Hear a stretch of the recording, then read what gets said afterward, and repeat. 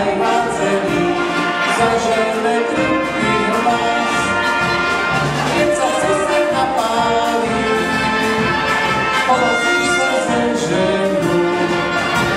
Vtedy, keď začnú livovky hrať, zvaní obeženú.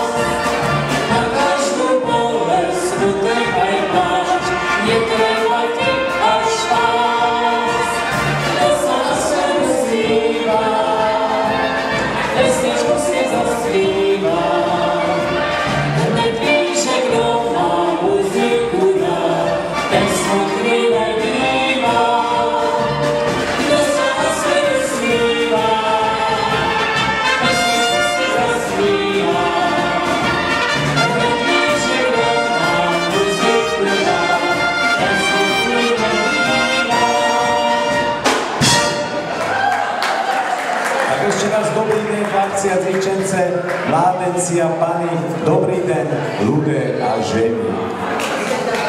Ešte raz Michová Luka Grinavanka naspal sem zvolil toto oslovenie, oslovenie, ktoré často používal jeden z najznámejších ľudových vyprávačov a to bol Strico Marci. Určite ste ho poznali, často vystupoval z Malokarpatskú dýchovku a ja často používam jeho, pretože som ho rád počúval, jeho výroky a jeho fóry.